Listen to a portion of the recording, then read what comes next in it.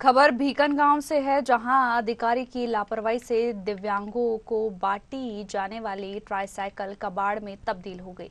जो ट्राईसाइकिल दिव्यांगों को दी जानी थी, वो खुले मैदान में सड़ रही है। और ये तस्वीर जो आप देख रहे हैं, ये भीकन गाँव जनपद पंचायत परिसर की है। सरकार की ओर से दिव्यांगों के लिए खरीदी की गई ट्राईसाइकिल बांटी नहीं गई और अब खुले आसमान के नीचे सड़ाकर इन्हें कबाड़ के भाव तोला जा रहा। जिम्मेदार अधिकारी उन्हें सड़ने के लिए कैसे छोड़ सकते हैं? जो लाभ दिव्यांगों को मिलना चाहिए था, उन्हें नहीं मिल पाया है।